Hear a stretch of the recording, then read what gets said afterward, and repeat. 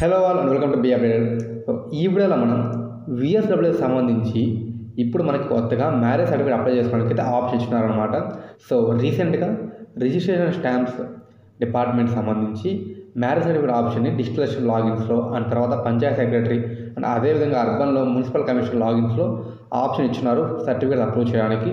And డిస్టిలేషన్ లాగిన్లో apply చేయడానికి అయితే ఆప్షన్ ఇచ్చినారనమాట అండ్ దీనికి సంబంధించి సో అప్లికేషన్ ప్రొసీజర్ ఎలా ఉంటుంది? అండ్ అప్లికేషన్ సంబంధించి ఏ డాక్యుమెంట్స్ కావాలి ఎక్కడ అప్లై చేసుకోవాలి and application SI time and ఎంత ఛార్జ్ అవుతుంది ఈ డీటెయిల్స్ అన్ని మనం ఈ వీడియోలో కంప్లీట్గా తెలుసుకుందాం అనమాట అండ్ దీనికి సంబంధించి ఎవరైతే అప్లికేట్స్ ఉన్నారో వాళ్ళు రూరల్ అయితే విత్ ఇన్ సిక్స్టీ డేస్లో మ్యారేజ్ అయిన సిక్స్టీ డేస్లో సర్టిఫికేట్కి అప్లై చేసుకోవాలి. అదేవిధంగా అర్బన్ అయితే విత్ ఇన్ నైంటీ డేస్లో మీరు ఆ సర్టిఫికేట్ అప్లై చేసుకోవాలి. అండ్ దీన్ని ఎలా కన్సిడర్ చేయాలంటే రూరల్ అర్బన్ అనేది మ్యారేజ్ ఎక్కడైతే అయి ఉంటుందో దాన్ని బేస్ చేసుకొని దీన్ని కన్సిడర్ చేయాలి. మీ I mean bride and bride పెళ్ళి కొడుకుది పెళ్ళి కూతురుది విలేజెస్ అయి ఉండొచ్చు. అండ్ ఎవరి విలేజ్ జరిగితే అబ్బాయి వాళ్ళ విలేజ్ జరిగితే ఆ విలేజ్ అప్లై చేసుకోవాలి. అమ్మాయి వాళ్ళ విలేజ్ అయితే ఆ అమ్మాయి వాళ్ళ విలేజ్ అప్లై చేసుకోవాలి. లేదంటే దగ్గరలో టౌన్లో ఫంక్షన్ హాల్లో చేసుకుంటే దాన్ని అర్బన్ కింద కన్సిడర్ చేయాలి. రూరల్ కింద కన్సిడర్ చేయకూడదు.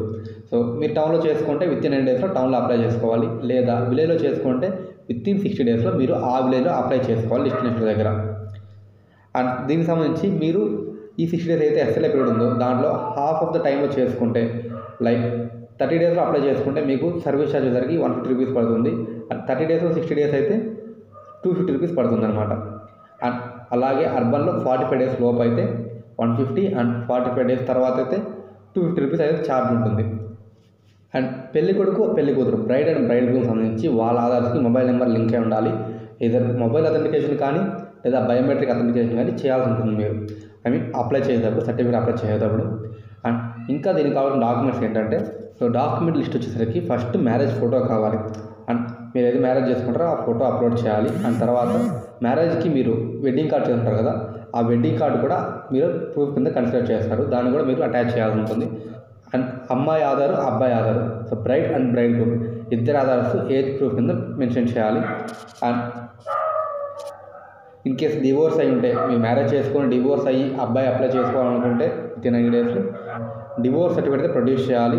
అండ్ తర్వాత ఇన్ కేస్ డెత్ అయి ఉంటే డెత్ సర్టిఫికేట్ ప్రొడ్యూస్ చేయాలి స్పౌస్ది and notary affidavit and proof of residence ఏదైనా rice card telephone bill electricity bill Aadhaar card ఏదైనా సరే ప్రూఫ్ ఆఫ్ రెసిడెన్స్ కింద మీరు ఈ డాక్యుమెంట్స్తో పాటు మీరు ప్రొడ్యూస్ చేయాల్సి ఉంటుంది.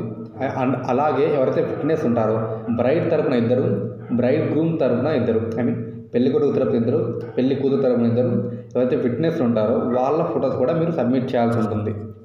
సో కావాల్సిన డాక్యుమెంట్స్ వచ్చేసరికి బ్రైడ్ బ్రైడ్ గ్రూమ్ ఎవరైతే వాళ్ళిద్దరు ఆధార్ కార్డ్స్ ఆ తర్వాత మ్యారేజ్ ఫోటో అండ్ తర్వాత వెడ్డింగ్ కార్డు అండ్ అలాగే మీ residence certificate in case death అంటే డెత్ సర్టిఫికేట్ స్పౌస్ది దాని తర్వాత డివోర్స్ అంటే డివోర్స్ సర్టిఫికేట్ ఈ డాక్యుమెంట్స్ అండ్ వీటితో పాటు residence certificate proof of residence certificate కింద రైస్ కార్డ్ కానివ్వండి ఎలక్ట్రిసిటీ బిల్ కానివ్వండి అండ్ ఆధార్ కార్డ్ కానివ్వండి ఇవన్నీ సబ్మిట్ చేయొచ్చు.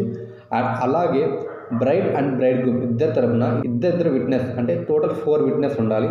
ఇద్దరు అబ్బాయి తరపున ఇద్దరు అమ్మాయి తరపున అండ్ వాళ్ళవి కూడా పాస్పోర్ట్ సైజ్ ఫోటోస్ అయితే మీరు సబ్మిట్ చేయాల్సి ఉంటుంది. అండ్ ఈ సర్టిఫికేషన్ ప్రాసెస్లో మీరు ఏదైనా ఓటీపీ కానీ బయోమెట్రిక్ అథెంటికేషన్ చేయాల్సి ఉంటుంది మీ ఆధార్తో ఇప్పటి వరకు అప్లికెంట్ సంబంధించింది డీటెయిల్స్ చెప్పాను. సో అప్లికెంట్స్కి ఏమేమి కావాలి? అండ్ తర్వాత ఎన్ని డేస్లో అప్లై చేసుకోవాలి? ఎంత సర్వీస్ ఛార్జ్ పడుతుందని.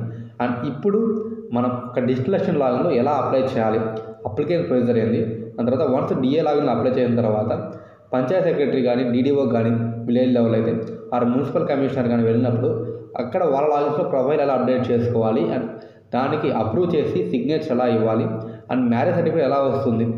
ఆ డీటెయిల్స్ అని మనం ఇప్పుడు చూద్దాం. సో డిఏ లాగిన్లో మనకి రిజిస్ట్రేషన్ కింద రిజిస్ట్రేషన్ సర్వీసెస్ కింద మ్యారేజ్ సర్టిఫికేట్ ఆప్షన్ ఉంటుంది. అది క్లిక్ చేసిన తర్వాత బేసిక్ డీటెయిల్స్ ఉంటాయి. బేసిక్ డీటెయిల్స్లో అప్లికెంట్ అప్లికెంట్ ఆధార్ క్లిక్ చేయగానే మొత్తం వాళ్ళ డేటా అనేది ఫిట్ అవుతుంది అనమాట ప్రీఫిల్లో అండ్ ప్రీఫిల్ అయిన తర్వాత నెక్స్ట్ వాళ్ళ present address and permanent address రెండు ఫిల్ చేయాల్సి ఉంటుంది. In case present address permanent address రెండు సేమ్ అయితే మీరు క్లిక్ చేస్తే సేమ్ అని మొత్తం డేటాని ఫిట్ చేయబోతుంది అనమాట మీరు మాన్యువల్గా ఎంటర్ చేయాల్సిన అవసరం లేదు. అండ్ ఇన్ కేస్ చేంజ్ ఉంటే present address permanent address change ఉంటే దాంట్లో మీరు అప్డేట్ చేయాల్సి ఉంటుంది. అండ్ అప్డేట్ చేసిన తర్వాత నెక్స్ట్ కంటిన్యూ క్లిక్ చేస్తే అప్లికేషన్ ఫామ్ ఓపెన్ అవుతుంది అనమాట అండ్ అప్లికేషన్ ఫామ్ ఓపెన్ అయిన తర్వాత సో సో మ్యారేజ్ డేట్ ఎప్పుడైతే మ్యారేజ్ జరిగిందో మ్యారేజ్ డేట్ ఆ తర్వాత venue of marriage so venue కింద ఫంక్షన్ హాల్ హౌస్ ఆర్ ఇంకేదైనా టెంపుల్ ఇలా వగేరా వగేరా ఉంటాయి కదా అది సెలెక్ట్ చేసుకోండి. ఆ తర్వాత ప్లేస్ ఆఫ్ మ్యారేజ్ ఎక్కడ మ్యారేజ్ జరిగింది? డిస్టిక్ తర్వాత మున్సిపాలిటీ కానీ ఆరు మండలి కానివ్వండి అండ్ విలేజ్ కానివ్వండి వార్డు కానివ్వండి తర్వాత పంచాయతీ ఏ పంచాయతీ కింద అది జరిగింది. అవన్నీ మెన్షన్ చేయాలి. ఆ తర్వాత బ్రైడ్ డీటెయిల్స్ ఎవరైతే ఆ పెళ్ళి కూతురు ఉందో ఆ అమ్మాయి సంబంధించి ఆధార్ నెంబర్తో ఓటీపీ కానీ ఆర్ బయోమెట్రిక్ అతనికి కానీ చేయాల్సి ఉంటుంది.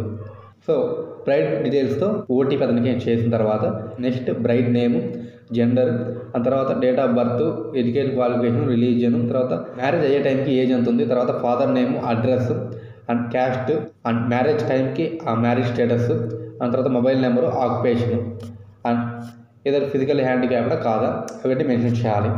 అండ్ అది అయిపోయిన తర్వాత నెక్స్ట్ బ్రైడ్ గ్రూమ్ పెళ్ళి కొడుకు డీటెయిల్స్ సేమ్ పెళ్ళి కొడుకు కూడా ఆధార్ నెంబర్ ఎంటర్ చేసి ఓటీపీ అతనికి ఏం చేసిన తర్వాత మొత్తం డీటెయిల్స్ అనేవి ఎంటర్ చేయాల్సి ఉంటుంది. నేము జెండర్ అవన్నీ డేట్ ఆఫ్ బర్త్ ఏవైతే పెళ్ళి కూతురికి ఎంటర్ చేశామో సేమ్ డీటెయిల్స్ అన్నీ మనకి అబ్బాయి కూడా ఎంటర్ చేయాల్సి ఉంటుంది.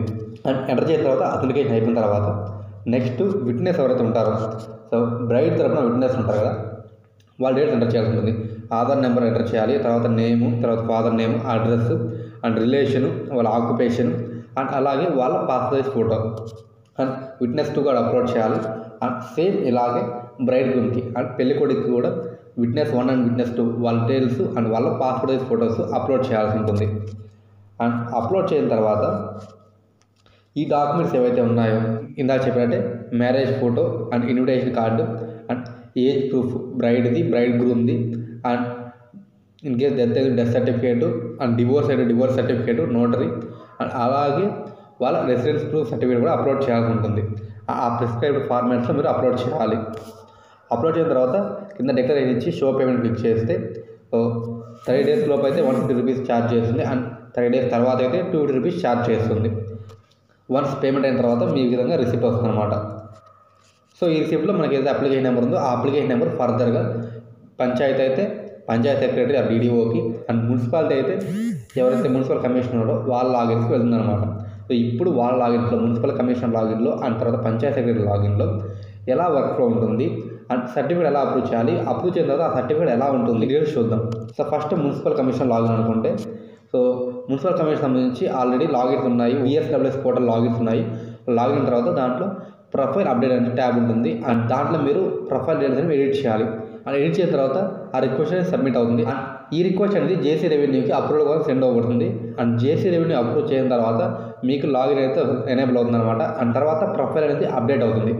ప్రొఫైల్ అప్డేట్ అయిన తర్వాత మీకు మ్యారేజ్ సర్టిఫికేట్ ఏవైతే అప్లై చేసి ఉంటారో మీ మున్సిపాలిటీలో ఆ మున్సిపాలిటీలో అప్లై చేసిన మ్యారేజ్ సర్టిఫికేట్ అనేది ఈ విధంగా డిస్ప్లే అవుతాయి అనమాట వన్ బై వన్ డిస్ప్లే అవుతాయి. అండ్ మనకు తెలిసిందే ఫిఫోర్ రూల్స్ ప్రకారం so first in first out first అయితే అప్లై ఉంటుందో దాన్ని క్లిక్ చేసి అండ్ ఆ క్లిక్ చేసిన తర్వాత ఈ విధంగా వాళ్ళ డీటెయిల్స్ అనేవి వస్తాయన్నమాట. ఎవరైతే ఏవైతే డిఏ ఎంటర్ చేశాడో ఆ, డీటెయిల్స్ అన్నీ మొత్తం వాళ్ళకైతే డిస్ప్లే అవుతాయి అనమాట అన్నీ చెక్ చేసుకొని ఆ తర్వాత వాళ్ళు ఫీల్డ్ వెరిఫికేషన్ చేసుకొని in case field verification require అయితే ఫీల్డ్ వెరిఫికేషన్ చేసుకొని అండ్ ఫీల్డ్ వెరిఫికేషన్ చేసిన తర్వాత ఆ వెరిఫికేషన్ ఫామ్ అండ్ అలాగే వాళ్ళ రికమెండేషన్ డీటెయిల్స్ సో ఇవి ఇక్కడ రిమార్క్స్ ఎంటర్ చేసి వాళ్ళు ఏదైనా అప్రూవ్ కానీ రిజెక్ట్ చేయాల్సి ఉంటుంది. అండ్ ఏవైతే డిఏ అప్లోడ్ ఉంటారో ఫొటోస్ కానివ్వండి ఆ డాక్యుమెంట్స్ కానివ్వండి అవన్నీ ఇక్కడ వీళ్ళ లాగిన్లో మనకి డిస్ప్లే అవుతాయి. సో వీళ్ళు చెక్ చేసుకొని అండ్ దాన్ని బట్టి వీళ్ళు అప్రూవ్ చేయాల్సి ఉంటుంది అన్ని కన్ఫర్మ్ చేసుకొని క్రాస్ చెక్ చేసుకొని సో ఓకే అయితే వీళ్ళు అప్రూవ్ చేయాల్సి ఉంటుంది. ఇన్ కేస్ ఏమైనా రిమార్క్స్ ఉంటే వీళ్ళు అవి ఎంటర్ చేసి తర్వాత రిజెక్ట్ చేయొచ్చు. అప్రూవ్ క్లిక్ చేసిన తర్వాత సో మనకి ఈ విధంగా టోకెన్స్ ఉంటాయి వాళ్ళకి మైక్రోసాఫ్ట్ విండోస్ స్టోర్లో టోకెన్స్ ఉంటాయి. ఆ టోకెన్ యూజ్ చేసుకొని అండ్ ఆ పాస్వర్డ్ యూజ్ చేసి వాళ్ళు సైన్ అండ్ అప్రూవ్ చేయాలి. అండ్ దాన్ని డిజిటల్ సైన్ చేసి అప్రూవ్ చేయాలి. అండ్ డిజిటల్ సైన్ చేసిన తర్వాత సర్టిఫికేట్ అయితే ఈ విధంగా ఉంటుందన్నమాట. అర్బన్ సర్టిఫికేట్ ఈ విధంగా ఉంటుంది. Sample so certificate of marriage so ఎవరైతే మ్యారేజ్ సర్టిఫికేట్ అప్లై చేశారో వాళ్ళకి సంబంధించి ఈ విధంగా వస్తాయి అనమాట వాళ్ళ డీటెయిల్స్ అన్నీ వస్తాయి. అండ్ ఎప్పుడు మ్యారేజ్ అయింది అండ్ ఎక్కడ మ్యారేజ్ అయింది అండ్ అలాగే ఎవరైతే మ్యారేజ్ ఆఫీస్ కానీ మున్సిపల్ కమిషనర్ ఉన్నారో వాళ్ళ సిగ్నేచరు అండ్ వాళ్ళ డీటెయిల్స్ అయితే వస్తాయన్నమాట. ఇది శాంపుల్ సర్టిఫికేట్ అర్బన్లో మీరు అప్లై చేసుకుంటే. అదే రూరల్లో పంచాయత్ సెక్రటరీ సంబంధించి లాగిన్స్ ఎలా ఉంటుందంటే మీ DDO code hyphen PS DDO at the rate of APGSWS dot on Microsoft dot com దీన్ని యూజ్ చేసుకొని మీరు లాగిన్ అవ్వాల్సి ఉంది సైన్ అయి క్లిక్ చేసిన తర్వాత పాస్వర్డ్ డిఫాల్ట్ పాస్వర్డ్స్ మీకు అయితే షేర్ చేస్తుంటారు అండ్ డిఫాల్ట్ పాస్వర్డ్ యూజ్ చేసుకొని అండ్ దాంతో మీరు లాగిన్ అవ్వాల్సి ఉంటుంది. లాగిన్ అయిన తర్వాత ఈ విధంగా మనకి ప్రొఫైల్ అనేది వస్తుంది అనమాట పంచాయతీ సెక్రటరీ ప్రొఫైల్ అయితే వస్తుంది. నేము తర్వాత డిస్టిక్ అవన్నీ డీటెయిల్స్ అనేవి వస్తాయి. లాస్ట్లో యాక్షన్ దగ్గర ఎడిట్ ఆప్షన్ ఉంటుంది. ఎడిట్ ఆప్షన్ క్లిక్ చేసిన తర్వాత ప్రొఫైల్ ఎడిట్ చేయాలన్నమాట. అక్కడ డిజిటల్ సిగ్నేచర్ సీరియల్ నెంబర్ ఉంటుంది. అండ్ వీళ్ళు అప్లై చేసుకుని డిజిటల్ సిగ్నేచర్ ఉంటే ఆ సీరియల్ నెంబర్ ఎంటర్ చేయాలి. సీరియల్ నెంబర్ ఎంటర్ చేసిన తర్వాత రోల్లో రెగ్యులర్ అండ్ స్టేటస్ యాక్టివ్ అది క్లిక్ చేసిన తర్వాత అండ్ ఇవన్నీ సెలెక్ట్ చేసుకొని మీరు అప్డేట్ క్లిక్ చేస్తే ఈ విధంగా ప్రొఫైల్ అప్డేట్ సక్సెస్ఫుల్ అని చెప్పి అయితే పాపప్ వస్తుంది. అండ్ ప్రొఫైల్ అప్డేట్ సక్సెస్ఫుల్ అని వచ్చిన తర్వాత నెక్స్ట్ ఈ అప్రూవల్ అనేది ఐ మీన్ ఈ డీటెయిల్స్ అనేవి ఎంపీడీఓకి వెళ్తాయి అనమాట ఎంపీడీఓ లాగిన్లో ఎవరైతే మీ ఎంపీడీ ఉన్నారో వాళ్ళ లాగిన్లో ఈ విధంగా వస్తాయి. సో ఎవరైతే సెక్రటరీస్ ఉన్నారో వాళ్ళ డీటెయిల్స్ అనేవి వస్తాయన్నమాట. ఆ ఎంప్లాయీ సిగ్నేచర్ వాళ్ళ డీటెయిల్స్ అన్నీ వస్తాయి. అక్కడ ఎడిటర్ అప్పుడు దగ్గర క్లిక్ చేస్తే ఎంపీడీఓ ఆ డీటెయిల్స్ అన్నీ ఏవైతే వీళ్ళు అప్డేట్ చేస్తున్నారో పంచాయతీ సెక్రటరీ ఆ డీటెయిల్స్ అన్ని ఇక్కడ డిస్ప్లే అవుతాయి ఎంపీడీఓ లాగిన్లో వాళ్ళు అవన్నీ చెక్ చేసుకొని అప్రూవ్ క్లిక్ చేయాల్సి ఉంటుంది. అప్రూవ్ ఆ రిజెక్ట్ క్లిక్ చేసిన తర్వాత వాళ్ళ డీటెయిల్స్ ఏవైతే అప్రూవ్ అవుతాయి అనమాట ఐ మీన్ అప్డేట్ అవుతాయి. ఇద్దరు అప్రూవ్ కానీ రిజెక్ట్ కానీ అప్డేట్ అవుతాయి. అండ్ అప్డేట్ అయిన తర్వాత అవి పిఎస్ లాగిన్కి రిఫ్లెక్ట్ అవుతాయి అనమాట అండ్ రిఫ్లెక్ట్ అయిన తర్వాత పిఎస్ లాగిన్కి డిజిటల్ సిగ్నేచర్ అనేది ఆప్షన్ వస్తుంది. ఇప్పుడు ఏవైతే మనం సర్టిఫికేట్ అప్లై చేస్తామో డిఎస్ అప్లై చేస్తారో ఆ సర్టిఫికేట్ ఇక్కడ వస్తాయి. అండ్ వాళ్ళు ఆ సర్టిఫికేట్ ఏమైనా క్లిక్ చేస్తే వాళ్ళ లాగిన్లో ఈ విధంగా ఆ సర్టిఫికేట్ అయితే డీటెయిల్స్ ఉన్నాయో డిఏ ఎంటర్ చేశారో ఆ డీటెయిల్స్ అన్నీ మనకి ఇక్కడ డిస్ప్లే అవుతాయి. అండ్ అన్నీ క్రాస్ చెక్ చేసుకొని వెరిఫై చేసిన తర్వాత నెక్స్ట్ వాళ్ళు అప్లోడ్ చేసిన డాక్యుమెంట్స్ అన్నీ వస్తాయి. ఆ డాక్యుమెంట్ కూడా మీరు వెరిఫై చేయొచ్చు చూడొచ్చు. అండ్ చూసిన తర్వాత మీరు వెరిఫికేట్ డాక్యుమెంట్ అప్లోడ్ చేయాల్సింది. అది మ్యాండేటరీ కాదు వెరిఫికేషన్ డాక్యుమెంట్ అడుగుతుంది. అండ్ తర్వాత రిమార్క్స్ లేదా recommended or not recommended update చేసి అప్రూవ్ మీద క్లిక్ చేయాలి. అండ్ అప్రూవ్ మీద క్లిక్ చేసిన తర్వాత డీడీఓ లాగిన్లో కూడా డిజిటల్ సిగ్నేచర్ అడుగుతుంది అనమాట అండ్ సర్టిఫికేట్స్ పాస్వర్డ్ ఎంటర్ చేసిన తర్వాత sign and approve so digital signature చేసి మీరు అప్రూవ్ చేయాల్సి ఉంటుంది. అండ్ వన్స్ అప్రూవ్ చేసిన తర్వాత ఈ విధంగా శాంపుల్ అనేది ఈ విధంగా ఉంటుంది. సర్టిఫికేట్ ఆఫ్ మ్యారేజ్ సేమ్ అర్బన్లో ఎలా ఉందో అలాగే ఉంటుంది. ఆ డీటెయిల్స్ అనేవి వస్తాయి. తర్వాత ఆ డేట్ ఎప్పుడైతే మ్యారేజ్ జరిగిందో ఆ డేటు తర్వాత ఏ గ్రామ పంచాయతీ జరిగింది ఆ తర్వాత ఏ మండలం జరిగింది.